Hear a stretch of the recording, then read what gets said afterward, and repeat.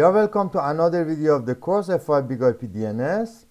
In the previous section, we have introduced and implemented F5 DNS transparent cache. In this section, I'm going to discuss and implement F5 DNS resolver cache, in which BIG-IP itself resolves DNS queries using iterative or recursive method and cache DNS responses. And of course, answers subsequent query for the same name from the cache.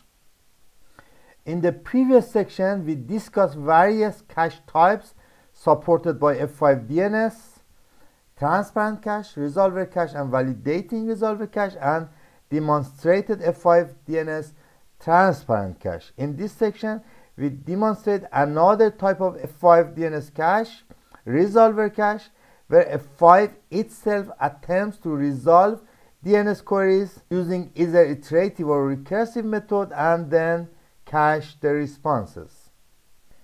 Depending on the forward zone configuration, F5 DNS resolver cache decide whether to use an iterative or recursive method to resolve DNS queries. In the forward zone, we configure a list of DNS servers that the resolver cache will use to resolve DNS queries. When you configure a forward zone for the resolver cache or a list of DNS servers as a forwarders, the resolver cache uses the recursive method to resolve the DNS query. This means that the resolver cache sends the request to the servers configured in the forward zone and expect to get the final response.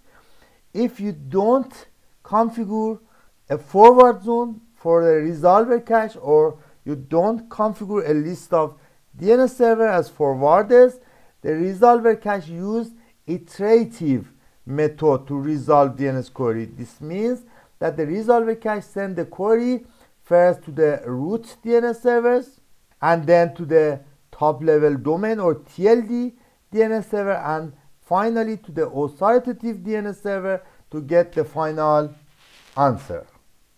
To configure F5 DNS resolver cache, we first create a new cache of the type resolver in the section DNS cache and then cache list.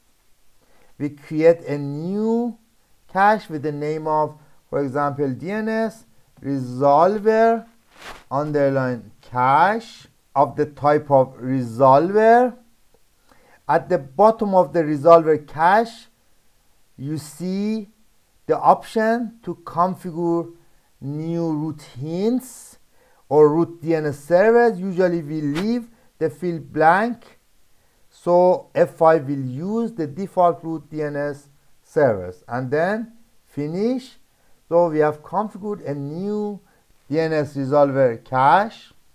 When you click the configured resolver cache in the tab forward zone, you are allowed to configure a list of DNS servers to which the DNS resolver cache for forward query for the resolution. In other words, if you configure forward zone, the DNS resolver cache uses a recursive method to resolve the queries. As an example, I will add a list of DNS servers with the name of forwarder and the IP address 111 and 4224 and 888 three DNS servers as forwarders and then finish. And then in the cache DNS resolver cache in the tab forward zone we have configured three DNS servers as forwarders we then create a DNS profile, a new DNS profile in the section profile, then DNS to use the configured resolver cache. So we create a new profile with the name of resolver underline cache underline DNS underline profile based on existing DNS profile and then we enable DNS cache of the type of DNS resolver cache. And we also disable bind service as it is recommended by F5 community to improve the performance. And then finish. And in the final step we configure a new DNS listener to use the new DNS profile we have just created that uses the DNS resolver cache. In the section DNS delivery and then listener and then G GTM listener list we create a new listener with the name of resolver underline cache underline DNS underline listener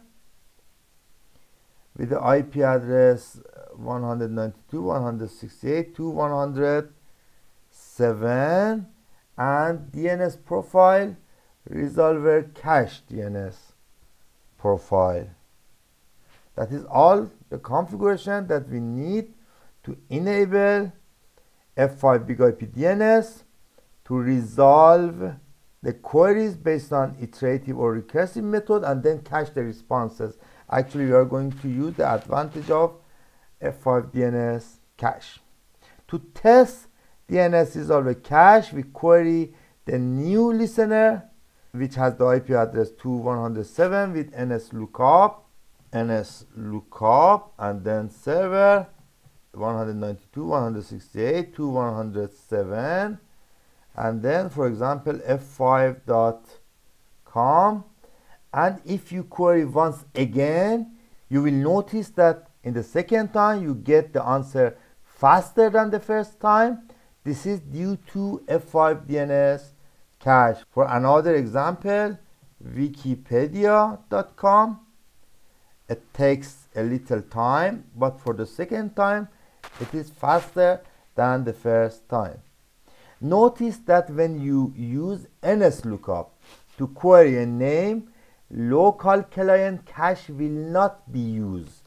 If you get the DNS response faster in the second time, it is due to DNS server cache and not client cache.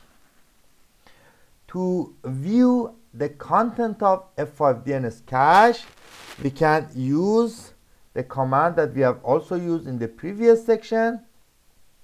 In the section traffic management shell environment with the command show LTM DNS and then cache and then records are, rrset and then cache and the name of the cache which is DNS resolver cache you can see the content of the cache to check just f5 grep f5.com it exists in the cache to make sure we will delete the cache once delete and then again show you see there is no record inside the cache and we query again f5 it takes a little time and again it is fast and we query again you see f5 now exists inside the cache. It means that the cache is